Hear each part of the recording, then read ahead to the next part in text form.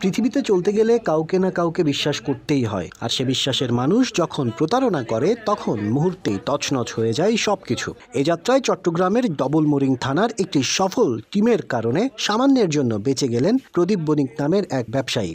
দোকানের বিশ্বস্ত কর্মচারীকে দিয়ে বারো লাখ টাকা এটিএম বুথ থেকে উত্তোলন করান তিনি। এরপর সেই কর্মচারী কি করলেন তাই জানালেন দোকান মালিক। তো যথারীতি সে এটিএম থেকে টাকা তোলার পরে মেসেজ আসছে মেসেজ আসার পরে আমি দেখলাম যে ও অনেকক্ষণ সময় হয়ে যাওয়ার পরে দেখলাম যে আর তাকে ফোনে পাচ্ছি না।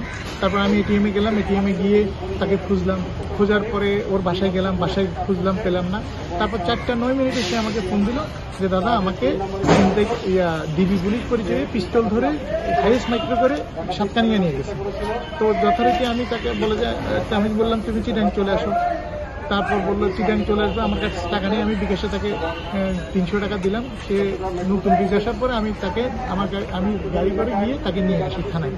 থানায় এসে তারপর আমি সাবদেরকে অভিযোগ দিই আমার তার গতিবিধি কেমন যেন সন্দেহ হয়েছে। সন্দেহজনক মনে হওয়ার কারণে তারা এটা ইয়ে করছে সকালবেলা আমি জানতে পারি যে এটা এরপরে এটিএম বুথ ও আশপাশের এলাকা থেকে সিসিটিভি ফুটেজ সংগ্রহ করে পুলিশ। কিন্তু দোকানের কর্মচারী সুদীপ্ত সাহাকে এটিএম বুথ থেকে মাইক্রোবাস দিয়ে অপহরণ করা হয়েছে বলা হলেও সিসিটিভির ফুটেজে তার সত্যতা পাওয়া যায়নি। এছাড়াও ঘটনা সম্পর্কে সুদীপ্ত সাহার বক্তব্য সন্দেহজনক হওয়ায় তাকে লাগাতার জিজ্ঞাসাবাদ করা হয়।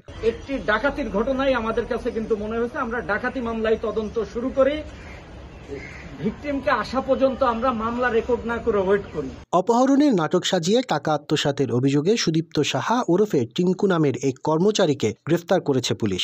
শুক্রবার নয় জুলাই রাতে চট্টগ্রাম নগরের ডবল মোরিং থানা পুলিশ তাকে গ্রেফতার করে। এ সময় তার কাছ থেকে আত্মসাতের এগারো লাখ নিরানব্বই হাজার টাকা জব্দ করা হয়। সুদীপ্ত সাহা রাঙ্গুনিয়া উপজেলার মহাজন বাড়ির বাসিন্দা অসীম সাহার ছেলে। সিএমপির জন্য এটা খুব একটা আলোচিত ঘটনা ছিল। যে প্রকাশ্য দিবালোকে পুলিশ পরিচয়ে ডিবি পরিচয়ে বারো লক্ষ টাকা চিন্তায় হয়েছে, যেটা আমার ডিসি স্যার তাৎক্ষণিকভাবে বলে ডাকাতিকে মাথায় রেখে সর্বোচ্চ এফোর্ট দেওয়ার জন্য। আমার ডিসি স্যারও তাৎক্ষণিকভাবে আসে, আমরা টিম গঠন করে আমরা ডাকাতি হয়েছে, এই চিন্তা থেকে আমরা সিসি ক্যামেরার ফুটেজ সর- সর্বোচ্চ কার্যক্রম আমরা করি। এবং এই ভিকটিম সে নিজে বান্দরবনে গিয়ে তার মালিককে কল দেয়। আমরা মোবাইল ট্র্যাকিং করে তার লোকেশনও বান্দরবন দেখি।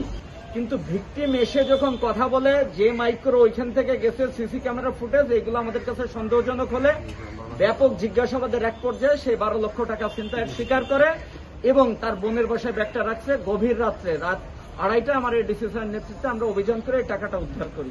আমার কাছে আছে ব্ল্যাঙ্ক চেক আছে স্ট্যাম্প আছে সবকিছু আছে। হ্যাঁ মামলা দিদি আশরাফুল আলম আকাশ গ্লোবাল টিভি চট্টগ্রাম।